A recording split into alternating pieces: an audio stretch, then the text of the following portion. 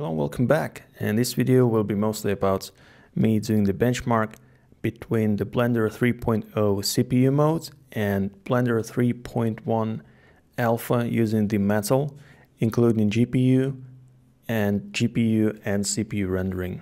Uh, so what we're gonna do is we're gonna uh, use the Blender 3.0, as you can see, and we will be rendering uh, as system allows only in the CPU version of the cycles. However, in the Blender, I will be uh, testing two ways of rendering with the metal with just M1 Pro GPU and both GPU and um, CPU. So the results are, will be a little bit different and I will showcase where you can get gains just from rendering GPU or both from GPU and CPU. And uh, without further ado, uh, let's check out the numbers and discuss what's what. So the first one will be the BMW scene, which is a reasonably uh, kind of like at this point a little bit old and it doesn't utilize all the new fancy things. But anyway, uh, what we are seeing is a full HD uh, divided by 2 resolution. Effectively, it's 960 by uh, 540 and as you can see we are going to use the system of indicating how much CPU and GPU is being utilized as in 100% of CPU usage means one full core utilization. So the Blender 3.0 in the CPU mode uses 780% uh, of CPU and it finished in 4 minutes 11 seconds and it used 147 megabytes of system memory. Whereas the 3.A in CPU and GPU, um, it was utilizing six cores and almost fully the GPU and it finished in 1 minute 14 seconds utilizing 118 megabytes of memory which basically calculation done 3.4 times faster. Using just GPU uh, actually utilizes less than 5% CPU cores out of like 800% and it used 99.5% of the GPU and it finished in 1 minute 22 seconds and it used almost um, 1400 megabytes. So basically it is a little bit slower than just using uh, I mean uh, than using both CPU and GPU so it's 3.06 times faster Next one will be the classroom and again it's 300 max samples, full HD and in 3.0 it was using 760% of the CPU and it finished in 9 minutes 25 seconds using uh, 637 megabytes of memory. So uh, in 3.A using both CPU and GPU uh, utilizing about uh, 6 full cores and 97% of GPU we finished at 3 minutes 8 seconds um, with the 605 megabytes of memory, which is exactly 3 times faster. Whereas using only GPU, we were utilizing less than 3% of the CPU and about 99.3% of GPU and finished in 3 minutes 38 seconds and using 2102 megabytes of memory roughly about 2.6 times faster. So again, as we can see, using both CPU and GPU at the same time in the scene like classroom uh, gets you a little bit of a speed. Next scene is barbershop and just so you know, the default setting for barbershop is 800 samples and I rendered it at 100 samples because uh, it would take like huge amount of time just to render one scene. I don't think it's worth it just to wait there for half an hour or something just to see how much gains we can get. So yeah, again, uh, I render it 100 samples instead of the default 800 samples.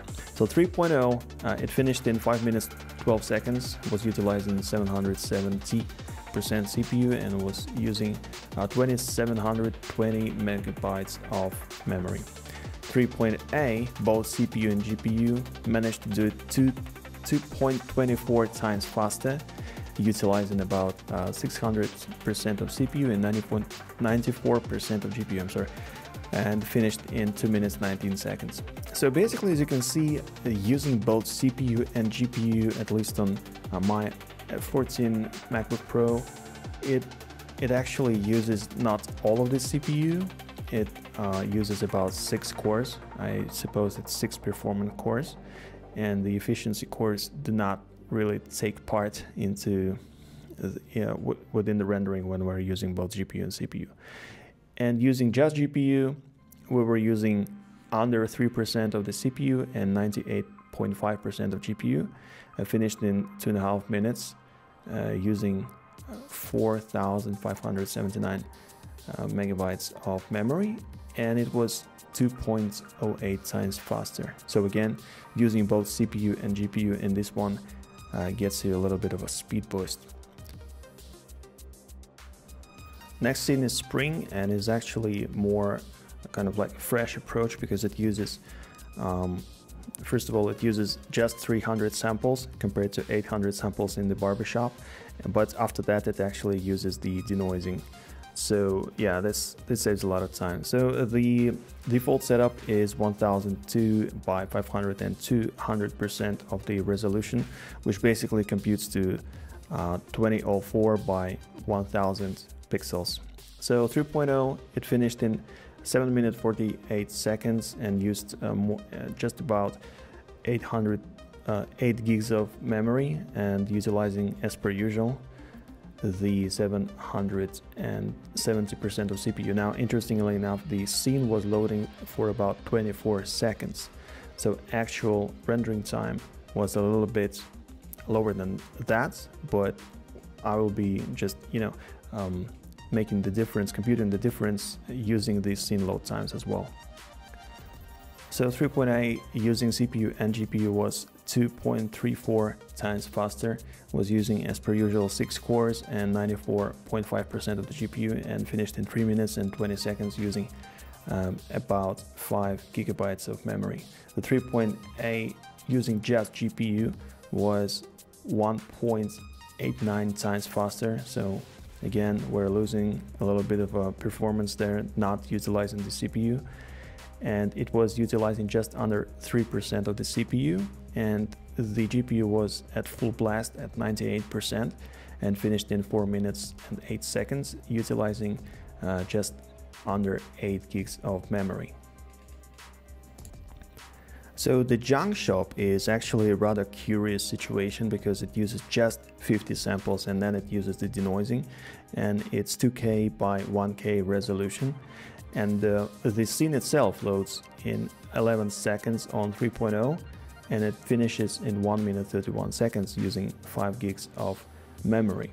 Now on 3.1a using CPU and GPU it uses uh, it's uh, 1.75 times faster.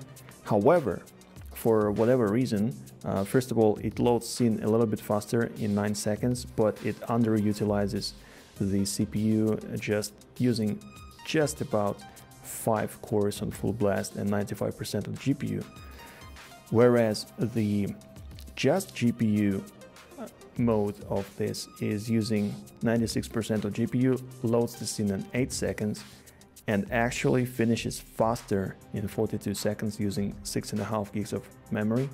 And as you can see, the 3.8 CPU and GPU is 1.7 times faster, and the just GPU is 2.17 times faster. And there was it was a surprising result, so I had to recheck and re-render. And yes, using just GPU is faster than using both. It's one of those situations when I was personally a little bit surprised and had to re-render a couple of times, but um, it doesn't lie, the results are true. So just using GPU in Junk Shop is really faster.